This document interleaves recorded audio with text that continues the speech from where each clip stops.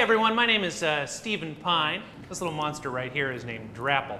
Now, Drapple, why don't you tell the audience how glad you are to be here? Well, because you told me never to tell a lie.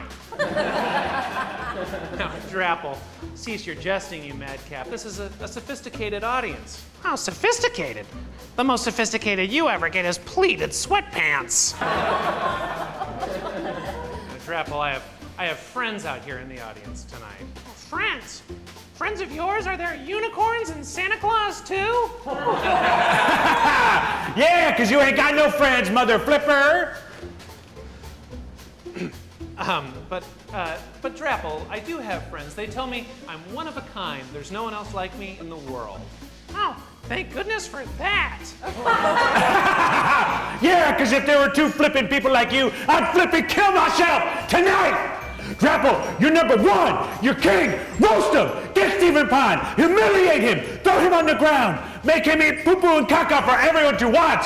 Drapple's number one. Da da da da da da da da. Da da da. Drapple.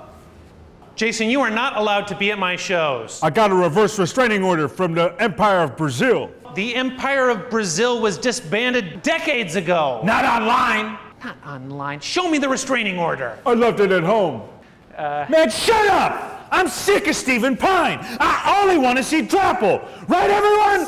Drapple! Drapple! Drapple! Drapple! Drapple! Drapple!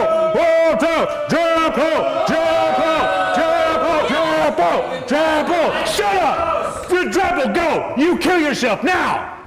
You think that's what you want? I know that's what I want. You want to see me dead? Let me show you something, Jason. Drapple! Drapple! That's right. I'm Drapple and Drapple is me. Everything you love and everything you think you hate is one and the same. If I was gone, there would be no more Drapple. I am your whole universe. But there's really only one thing left for me to do. Will you marry me? I'm ugly. I love your sense of humor. You're so funny. I want to grow old with you and I want to start a family with you.